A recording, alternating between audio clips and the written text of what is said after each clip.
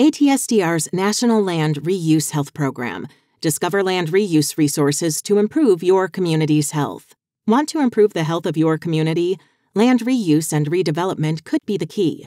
Land reuse sites include brownfields or old or vacant commercial, industrial, or residential properties. Chemicals used at the site, like lead based paint or solvents, may have contaminated the water, soil, or air.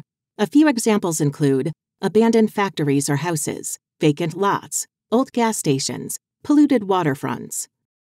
Because harmful chemicals may be in the water, soil, or air, People who live near these sites may have a higher risk of developing health issues, including respiratory problems or chronic diseases. Communities near land reuse sites may also have lower quality housing, and people who live in these communities may have limited access to healthy food, health care, or safe places for physical activity. Land reuse and redevelopment projects can make a big impact on overall community health and well being. These sites can be redeveloped into healthy and safe spaces that the community can enjoy, like new buildings, parks, trails, and community gardens. People from many backgrounds can play a role in redevelopment projects, including public and environmental health professionals, community planners and developers, people who work for community organizations, and community members. The Agency for Toxic Substances and Disease Registry's National Land Reuse Health Program has resources to help people redevelop land reuse sites in their communities. ATSDR's Land Reuse program provides free tools and training to help professionals and community members learn about land reuse and redevelopment. ATSDR's Environmental Health and Land Reuse EHLR certificate training is a free course created in collaboration with the National Environmental Health Association it helps people understand the redevelopment process and build skills to incorporate community health throughout the process. The EHLR certificate training is available in a variety of formats and includes a series of five modules 1. Engaging with your community, 2.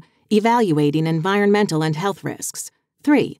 Communicating environmental and health risks, 4. Redesigning with health in mind, 5. Measuring success the EHLR training increases capacity of communities and professionals to collaborate on health focused land reuse.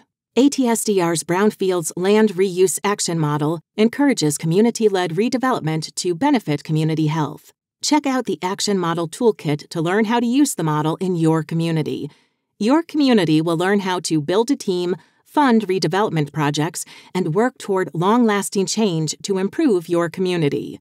Your community can also explore free land reuse toolkits tailored to meet the needs of community champions and planners, developers, health professionals, and more. Finally, the Land Reuse Program has a group of expert volunteers called the Brownfields and Reuse Opportunity Working Group, or BROWN. Brown's land reuse experts can help communities solve land reuse problems. For example, Brown can help communities Find and understand information about local land reuse sites and related health risks. Develop tailored strategies to improve community health. Build sustainable partnerships to support long term community health improvement through land reuse. Find out about funding opportunities. And measure positive changes in community health and well being. To learn more about the Land Reuse Program and find helpful resources, go to atsdr.cdc.gov slash sites slash brownfields. Together, we can build healthier communities where everyone has the chance to thrive.